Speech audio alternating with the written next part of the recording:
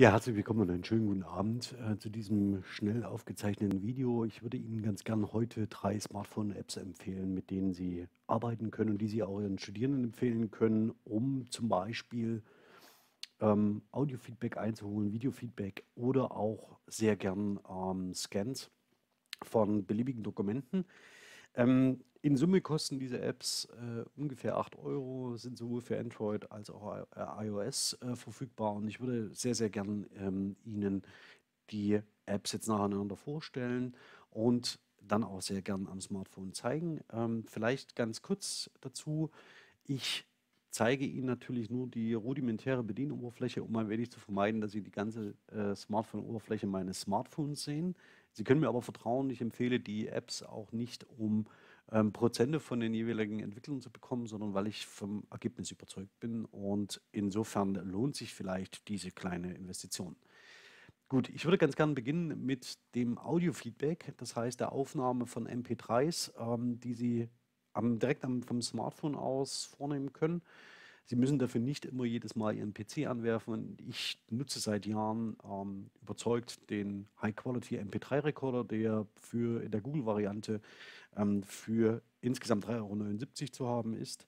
Und ich würde jetzt ganz gern direkt mal umstellen auf die ähm, App und Ihnen dann die Oberfläche zeigen. Ähm, Moment.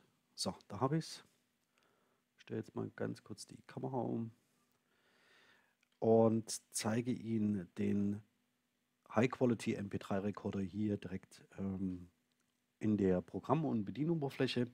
Sie sehen, Sie können hier aus der ersten Oberfläche sofort alle zentralen Einstellungen ändern. Für Sprachaufnahmen reichen in der Regel 128 Kilobit in der Sekunde. Sie können auch auf 96 runtergehen. Das war, ist das alte äh, Netzradio, der alte Netzradio-Standard reicht vielleicht möglicherweise aus. Sie können den Gain einstellen, also die Lautstärke des Mikrofons, haben noch verschiedene andere Einstellungen wie den Speicherort und so weiter und so fort.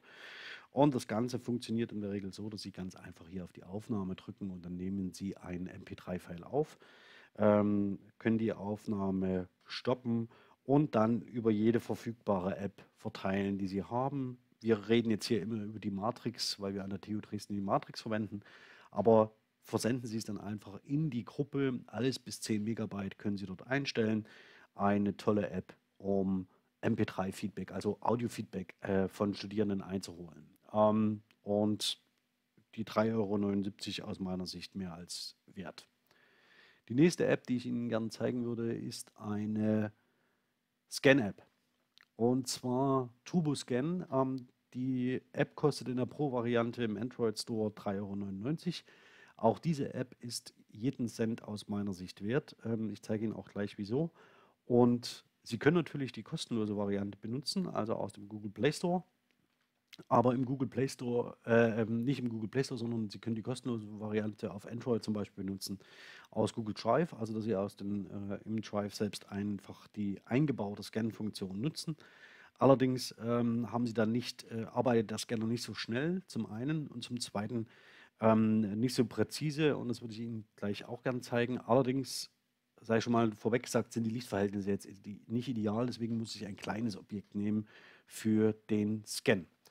Ähm, und zwar ähm, habe ich hier schon die Oberfläche aufgerufen von TurboScan und würde jetzt diese Streichholzschachtel ähm, kurz einscannen.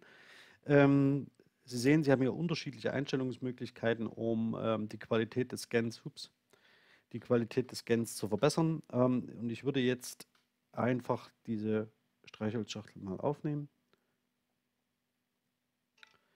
Und Sie sehen jetzt, das ist die Aufnahme, die wir gerade gemacht haben. Und das nächste, was Ihnen angeboten wird, dass Sie hier sofort das Ganze scannen. Warum der Scanner das jetzt nicht selbst erkannt hat, ist, weil das Format der Streichholzschachtel zu klein ist. Üblicherweise scannen Sie A4-Dateien und da funktioniert die Erkennung ähm, ziemlich gut.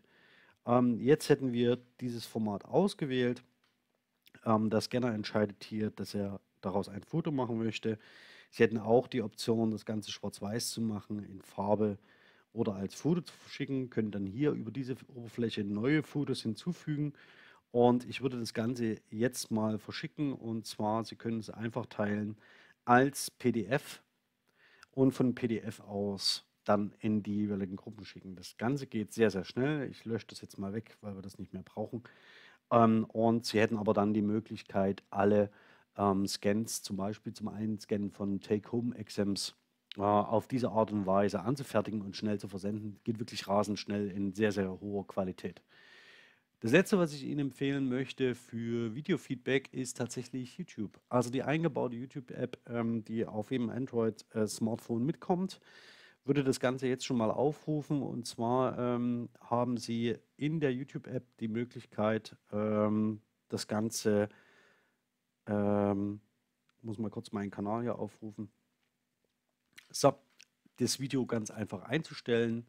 Das würde ich Ihnen hier auch mal zeigen, allerdings mit einem kleinen Kniff, der auf den ersten Blick nicht sofort erkennbar ist. Das heißt, das ist hier mein Kanal. Ich könnte jetzt aus diesem Kanal heraus sofort live streamen, das mache ich jetzt aber nicht, sondern ich möchte ja ein Video hochladen. Und dieses Video, das ich hochlade, äh, nehme ich idealerweise mit, meinem Kam äh, mit meiner Kamera auf. Und Sie sehen hier die Videos, die ich schon voraufgezeichnet habe. Und ich nehme jetzt ein neues Video auf und nehme dafür einfach dieses, äh, diese Streichholzschachtel. Das zeige ich mal. So. Das ist wirklich eine sehr, sehr schöne Streichholzschachtel und werde nach der Aufnahme automatisch weitergeleitet in den Editing Screen. Und jetzt werde ich natürlich aufgefordert, sofort äh, nach YouTube zu gehen. Das möchte ich aber gar nicht, sondern ich würde einfach mal zurückgehen und Sie sehen, dass Sie das Video hier in Ihren ähm, Daten schon gespeichert haben. Jetzt können Sie das Ganze jetzt schließen. Dann öffnen Sie die Foto-App, die integrierte auf Ihrem Smartphone. Und Sie sehen, hier liegt ähm, das eben aufgezeichnete Video und hier alle Varianten, die ich vorher ausprobiert habe. Ähm, schauen wir uns das mal an. So, und von hier aus können Sie sie problemlos in jede x-beliebige App teilen. Das mache ich jetzt nicht, dann sehen Sie alle meine Kontakte. Gut, diese drei Apps, also der High-Quality MP3-Recorder, der High-Quality MP3-Recorder, die TurboScan-App und YouTube würde ich als die drei essentiellen Smartphone-Apps für die Produktion von Feedback ähm, einordnen. Und damit soll es das heute gewesen sein. Insgesamt etwas unter 8 Euro. Nehmen Sie das Geld in die Hand, das lohnt sich wirklich. Empfehlen Sie das gerne weiter.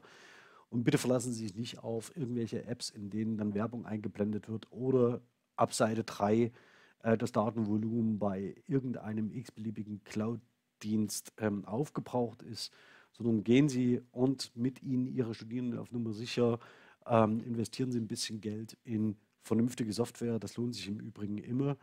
Und wenn Sie die Tipps ähm, nützlich finden, wenn Ihnen diese helfen, würde mich das sehr freuen. Und für heute soll es das erstmal gewesen sein und ich bin ganz herzlich Ihr Alexander Lasch.